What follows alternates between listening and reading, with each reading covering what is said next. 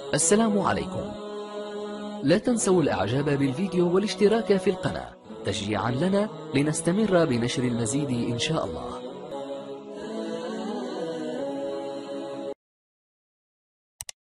محمد رسول الله عليها نحيا وعليها نموت وعليها نلقى الله.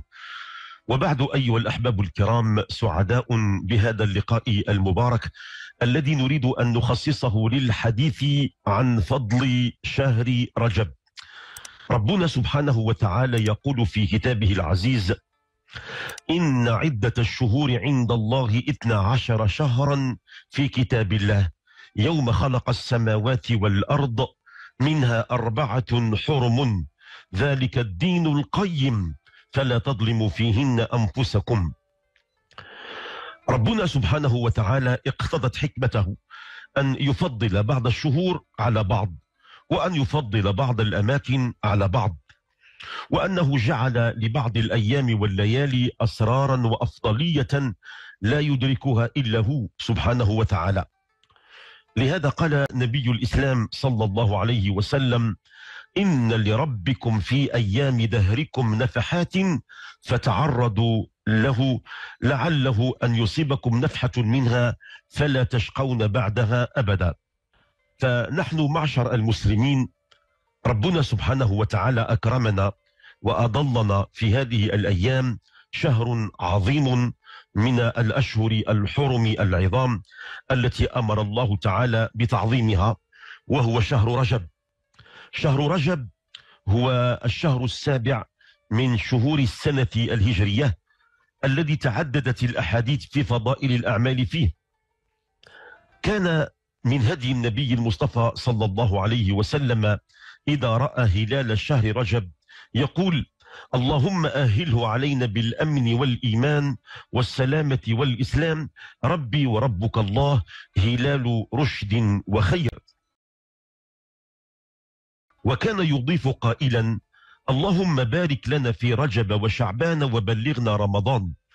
اللهم سلمنا إلى رمضان وسلم رمضان لنا وتسلمه منا متقبلا يا أرحم الراحمين. اللهم بلغنا رمضان لا فاقدين ولا مفقودين. وكان من هديه صلى الله عليه وسلم يكثر الأدعية حينما يرى هلال شهر رجب فيقول اللهم وأعنا على الصيام والقيام وحفظ اللسان وغض البصر ولا تجعل حظنا منه الجوع والعطش. أن هذا الشهر رجب هو تذكير بقرب ووشوك بزوغ فجر شهر رمضان. بعد رجب هناك شعبان ثم هناك رمضان. النبي الكريم صلى الله عليه وسلم كان يسمي شهر رجب بالشهر الأصب. واشتهرت هذه التسمية. رجب يسمى الشهر الأصب. اشتهر بين الناس بين الصحابة. لماذا؟ لأن الله سبحانه وتعالى يصب في رجب الرزق والخير صبا صبا. كان المسلمون يجدون أرزاقهم تزيد في رجب. وكانوا يلاحظون بأن مرضاهم تشفى في رجب. ويلاحظون بأن الخيرات تتكاثر في رجب. لهذا كان الناس يكثرون فيه من الدعاء لأن الله تعالى يصب فيه بركاته وقبوله للدعوات.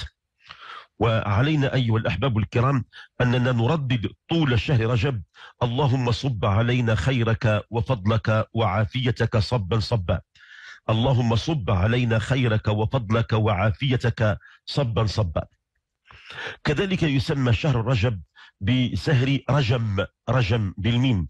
لماذا؟ لأن فيه ترجم الشياطين ومردة الجن يرجمها الله تعالى حتى لا تؤثر في عباد الله المؤمنين من خلال الوسوسة ومن خلال النفس.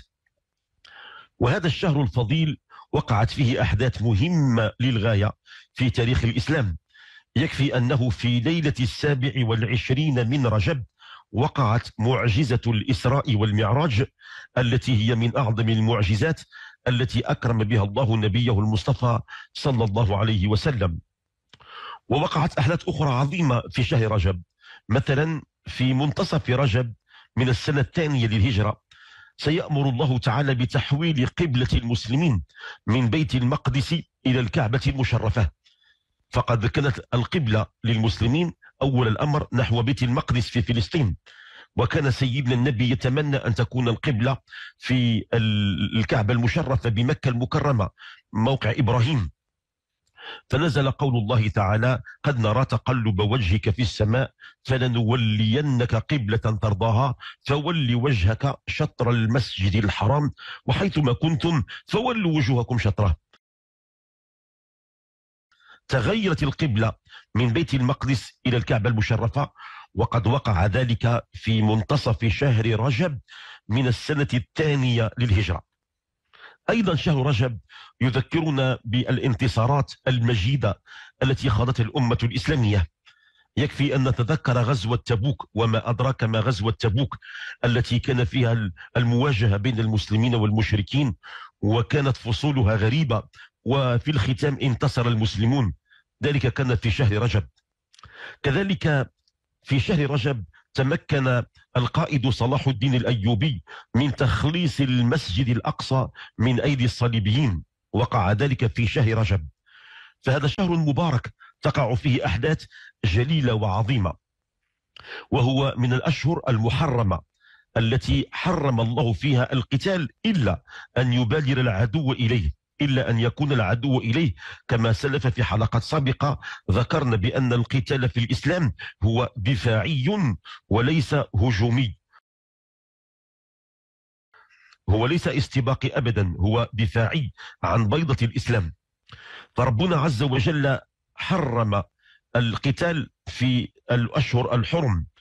ولذلك قال عز وجل إن عدة الشهور عند الله إثنى عشر شهرا في كتاب الله يوم خلق السماوات والأرض منها أربعة حرم ذلك الدين القيم فلا تظلموا فيهن أنفسكم. الأشهر الحرم منها شهر رجب. هي كما قال النبي الكريم صلى الله عليه وسلم أربعة حرم ثلاثة متوالية ذو القعدة وذو الحجة والمحرم ورجب مضر الذي بين جماد وشعبان. هذه أشهر فيها حرام القتال إلا أن يبادر العدو فيه. وذلك لتأمين الناس وخصوصا تأمين الطريق لزائر المسجد النبوي الشريف. أيضا من ينتهك حرمة هذا الشهر الفضيل فإن الذنب يكون أشد من غيره من شهور السنة. لهذا ربنا عز وجل نهانا عن الظلم وارتكاب المعاصي في هذا الشهر الفضيل. فقال تعالى فلا تظلموا فيهن أنفسكم فلا تظلموا فيهن أنفسكم فالواجب على المسلم الابتعاد عن الظلم خصوصا ظلم نفسه. هناك من يظلم نفسه بأن يجترح الذنوب والسيئات ويقارف الآثام والخطيئات. هذا أعظم الظلم. ثم ظلم الآخرين. ظلم الآخرين إما ظلم الزوجة أو ظلم الأبناء أو ظلم الجيران أو ظلم المستخدمين أو ظلم الدول بعضها ببعض. ربنا عز وجل قال يا أيها الذين آمنوا لا تحلوا شعائر الله ولا الشهر الحرام. أي لا تحلوا حرمة الله في هذا الشهر الحرام. وكذلك ربنا سبحانه وتعالى أمرنا في هذا الشهر الفضيل أن نكثر من الحسنات من صلاة ونوافل وصيام وغيرها. وكان سيدنا النبي صلى الله عليه وسلم يصوم كثيرا في رجب ويروى أنه قال كل الناس جياع يوم القيامة إلا الأنبياء وأهلهم وصائم ورجب وشعبان ورمضان فإنهم شباع لا جوع لهم ولا عطش لأن يوم القيامة يوم الحساب سيكون آه، ألف سنة. اليوم عند ربك كألف سنة مما تعدون. والناس سيشعرون بالجوع وبالعطش إلا الأنبياء وأهلهم يشعرون بالشبع. وكذلك من كان يصوم في رجب وشعبان ورمضان كل هؤلاء يشعرون بالشبع لا جوع لهم ولا عطش. ففي هذا الشهر الفضيل يستحب أن الإنسان يكثر من المواظبة على النوافل خصوصا نوافل الطاعات إما من صلاة وإما من صيام وإما من صدقات وغيرها من القربات. وطبعا إذا كنا نحافظ على النوافل فمن باب أولى أن نحافظ على الفرائض والواجبات ولا نضيعها لأن هذه الشهور هي مباركة.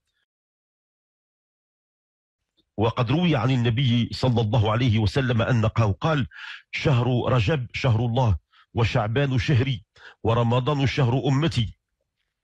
وفسر ذلك العلماء أن رجب شهر الله أنه يستحب أن نكتر فيه من قولنا لا إله إلا الله لا إله إلا الله لا إله إلا الله وحده لا شريك له له الملك وله الحمد يحيي ويميت بيده الخير وهو على كل شيء قدير. هذا معنى رجب شهر الله.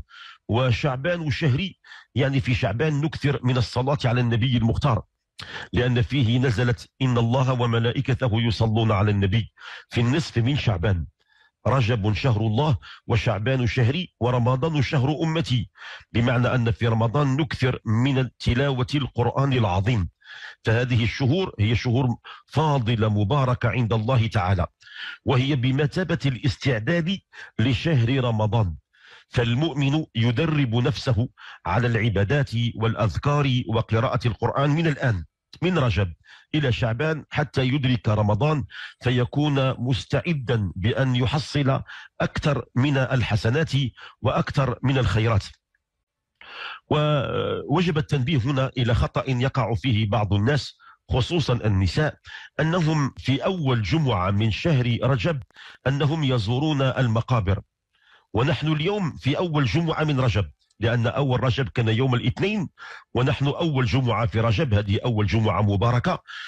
فبعض النساء وبعض الناس خصوصا النساء أنهم يعتقدون أن زيارة القبور في أول رجب فيها ثواب أكثر وأن الله يرد الأرواح على الأموات.